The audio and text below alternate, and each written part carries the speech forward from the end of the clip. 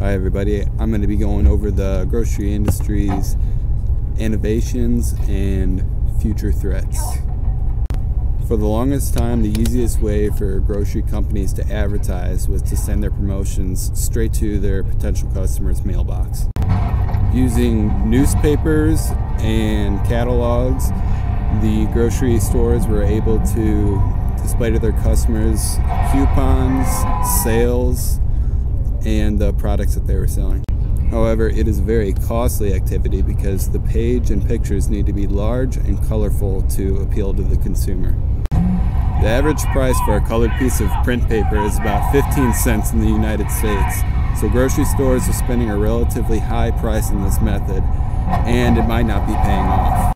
Oftentimes, these catalogs are thrown away on arrival so to cut back on waste, companies are using apps rather than paper. Just like how the newspaper industry is dying and they are now using electronics rather than print to stay in business. With a grocery app, the user can conveniently view the material advertised at any time they want without having to worry about the content being destroyed from wear and tear.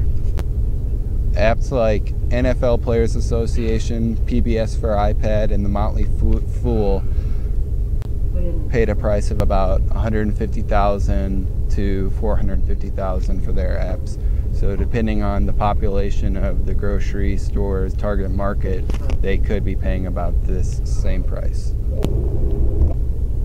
Companies like Amazon are taking over the product selling industry because of their convenience and vast selection of products. Grocery companies in China are stepping into the same business of e-commerce for the same advantage. Yihaodian has created a virtual world for shopping through their apps. Customers track the virtual store locations to parking lots or parks where they can shop and roam through simulated aisles. They point their phone around and find the product they want, and when they do, they click on it, and it is added to their cart they pay there, and then the groceries that they have selected are delivered to their home at a later date. So it's an app similar to Pokemon Go. Asda is a grocery store company based out of England that uses a reverse process to Yihaodian. Using the company's website, a person can place an order, then pick it up at a temperature controlled locker, removing the need for clerks. These technologies are hard to compete with, so brick and mortar companies like America's Kroger grocers are inventing new ways to keep their customer base. They use infrared cameras in their stores that detect body heat in order to determine how many customers are in the store and how many registers need to be open to minimize the checkout line's wait time. They're also going through a trial period with smart shelves, which can connect to your smartphone and display and compare nutritional facts as well as value facts compared to other products. This drive to keep brick and mortar locations in business is a worldwide phenomenon. Russian inventors are working on a patent for drive-throughs that can be added to grocery stores, increasing convenience for customers because they never have to get out of their cars.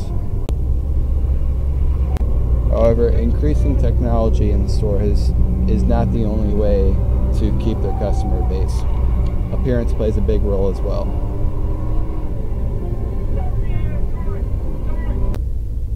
Schnucks is a very popular grocer, and when a customer enters their store, the first thing they will see is typically the customer service desk, which is placed right next to their florist department and fresh produce.